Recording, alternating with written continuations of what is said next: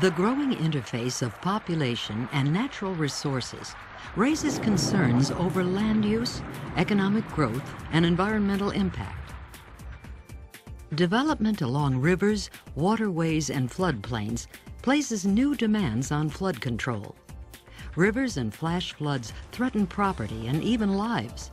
But these rivers are a natural resource that must be preserved and protected. The soil cement solution, protecting people, property, and the environment. From its original use as a base for pavements, this simple mixture of cement, soil, and water has emerged as an economical material for flood protection. Soil cement is a strong and effective solution for stream bank protection, riverbank protection, grade control structures, and slope protection for reservoirs and low permeability liners for lakes and lagoons. Soil cement is a mixture of soil, cement, and water.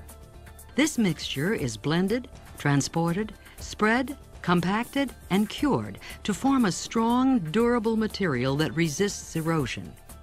Almost any type of soil can be used to make soil cement, although granular soils are preferred over clay soils. Simple laboratory tests determine the requirements for cement content and density. Material meeting these requirements is readily available at most job sites. The amount of cement to be added varies depending on the soil type and gradation. In general, increasing the cement content improves the strength of the soil cement. And like concrete, soil cement will continue to get stronger with age. Soil cement is a natural-looking, cost-effective method for protecting stream banks from erosion during floods. As with most rivers in the desert southwest, you don't see water in the river today. But the soil cement flood protection being provided here today will protect the adjacent land for home, commercial, and, uh, and industrial development. For the city of Santa Clarita, California, soil cement bank protection meets economic, engineering, and environmental goals. Since 1999, five and a half miles of soil cement bank protection have been constructed along the Santa Clara River and its tributaries. Although the river is not flowing today, design flows in the Santa Clara River are 120,000 cubic feet per second with heavy debris loads and high velocities up to 20 feet per second. These City of Santa Clarita ball fields have historically been eroded due to flooding from the Santa Clara River every two to four years. The damage has been significant. In fact, the area where I stand two years ago was eroded and completely lost to the river. Through the implementation of soil cement bank stabilization, we've been able to stabilize the river banks here and provide permanent flood protection for the ball fields. Now it's a long-term amenity to the community.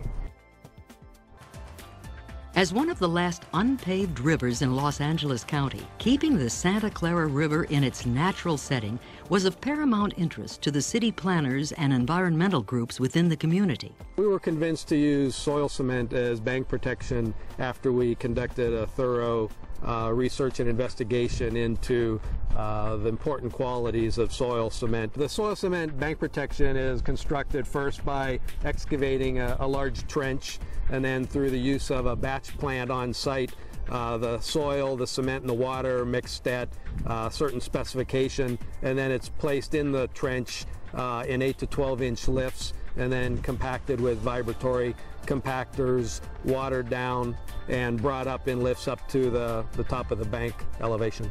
Once the soil cement levee is brought up to its design elevation, then the outer bank is filled with native soils and planted with native riparian vegetation. Quality control is always a critical aspect to soil cement construction. And through the use of on-site batch plants that are highly automated, the project meters cement, water, and the mixture of the aggregate, the soil material that's used to create soil cement. Riverbeds can also be protected through the use of soil cement grade control structures. These drop structures change the slope of the channel to slow the velocity of the water, reducing the potential for erosion. The purpose of the grade control structure is to create a hard point within the river system uh, to prevent long-term uh, lowering of the stream bed. At Tampa Bay Regional Reservoir, soil cement, placed by the stair-step method, protects the slope from severe wave action generated by hurricane-force winds. We're currently standing on the stair-step portion of the armored embankment. Um, below the water line is our flat plate portion. It's for erosion protection. This portion is also for erosion protection as well as uh, wave energy dissipation. Soil cement's been a true home run for the city of Santa Clarita's ball fields.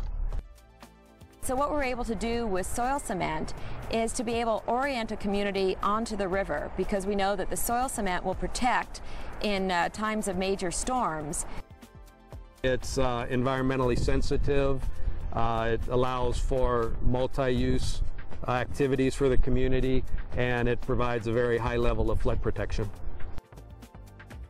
The soil cement solution, protecting people, property, and the environment.